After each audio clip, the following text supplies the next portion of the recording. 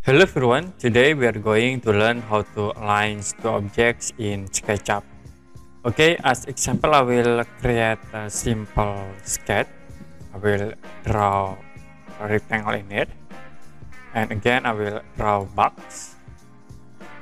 At these points, you can group uh, this box objects. Right click, make group, and now if you want to align these plane objects into this box objects, we need to convert these uh, planes into component. Then right click, select first this all objects, right click and make component. So I will set the name in here into plane.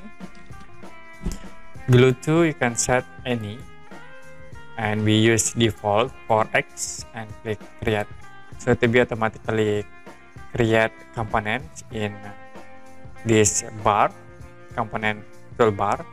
Now I will delete this component and now we can click in it and we can align this component into face of this 3D box okay, like this.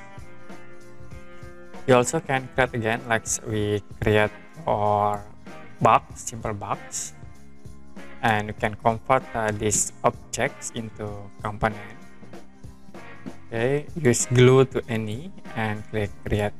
So we need to delete these objects and use component.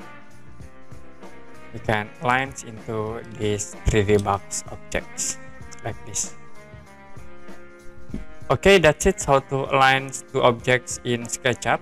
And if you have any question about this tutorial you can comment below this video